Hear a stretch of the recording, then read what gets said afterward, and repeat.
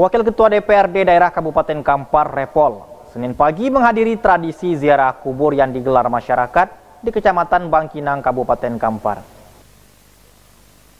Tradisi ziarah kubur masyarakat Desa Pulau Lawas, Kecamatan Bangkinang, Kabupaten Kampar yang dilaksanakan Senin pagi diakui ada yang berbeda dari tahun sebelumnya. Karena tradisi yang telah berlangsung ratusan tahun lalu kali ini dihadiri dan dilepas langsung oleh Wakil Ketua Dewan Perwakilan Rakyat Daerah Kabupaten Kampar, Repol, yang tahun ini merupakan tahun pertama dilaksanakan. Usai pandemi COVID-19 melanda Kabupaten Kampar.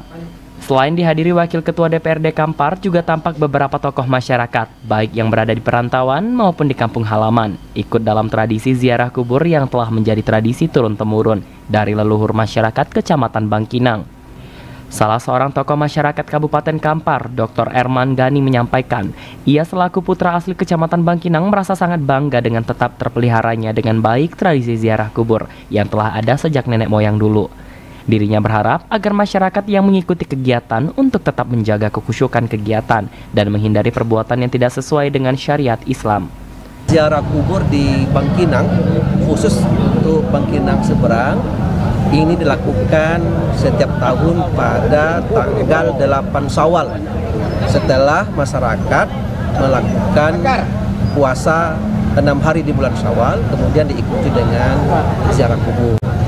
Pada awalnya memang ziarah kubur ini dilakukan untuk mengajak kemenakan, mengajak anak, mengajak cucu untuk berkunjung ke kuburan, ke makam para orang-orang tua yang telah meninggal dunia.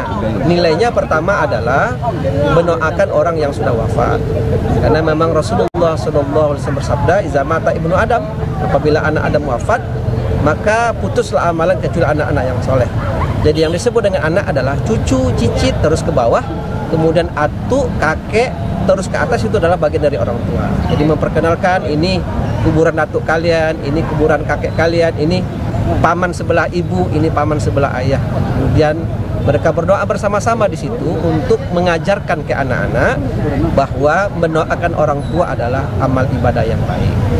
Dan itu disunahkan oleh Rasulullah Shallallahu Alaihi Wasallam.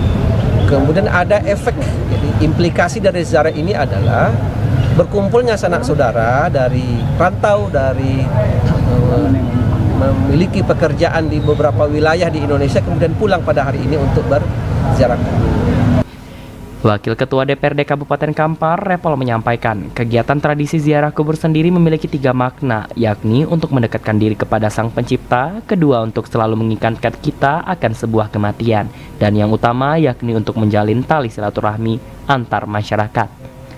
Karena dalam tradisi ziarah kubur, masyarakat di perantauan selalu pulang untuk mengikuti kegiatan. Dirinya juga berharap agar tradisi yang hanya ada di tengah masyarakat Kecamatan Bangkinang untuk terus dijaga dengan baik. Yang pertama tentu kita berikan apresiasi atas uh, agenda-agenda uh, ini, agenda ziarah kubur ini. Di samping memang ini dianjurkan oleh Rasulullah SAW untuk ziarah kubur, kita mendoakan yang telah mendahului kita, lalu pelajaran bagi kita kembali juga ke sana dan juga ada tradisi silaturahmi yang luar biasa yang dari rantau kembali kampung untuk kita berjumpa dengan keluarga saling bermaafan. Maka tentu ini kita berikan uh, dorongan dukungan sehingga ini tetap uh, berlanjut tradisi-tradisi yang ada seperti ini. Apakah ke depannya anak ini bisa dijadikan nanti sebagai wisata religi? Saya kira bisa kita jadikan wisata religi. Yang penting ini kita backup memang. Harus ada sinergi. Kalau ini tinggal backup saja, tak perlu diarahkan lagi sudah ada, sudah menjadi kebiasaan masyarakat. Tinggal pemerintah lagi yang ikut andil ambil momen di sini sehingga bukan hanya warga tempatan yang hadir, mungkin juga akan ada dari luar untuk menyaksikan tradisi seperti ini. Selaku anggota legislatif, apa mungkin uh, yang kita harapkan ke depan dengan ada event apa ya? Yang uh, bisa membangun kampung halaman kita. Mungkin nanti kalau hari ini hanya kita silaturahmi, lalu jalan uh, kuburan ke kuburan, ya ke depan mungkin bisa membangun kampungnya lebih maju lagi. Ada yang punya kemampuan di luar bisa juga untuk membangun kampung kita. Bukannya pemerintah membangun, tapi juga mungkin semangat kebersamaan untuk membangun uh, kampung khususnya di Bangkinang uh, seberang ini. Gitu. Dari pantauan Rio Televisi, Wakil Ketua DPRD Kampar, Repol yang juga didampingi Ketua PK Kecamatan Kuo, Zupri mengawali kegiatan tradisi ziarah kubur dengan mendatangi kuburan Musiro, Desa Pulau Lawas. Di sini rombongan yang dipimpin seorang kiai atau ustadz menggelar doa dan tahlil yang kemudian rombongan melanjutkan ziarah kubur dengan berjalan kaki dari kampung ke kampung untuk menziarahi lokasi perkuburan lainnya. Dari Kabupaten Kampar, Anto Badai melaporkan.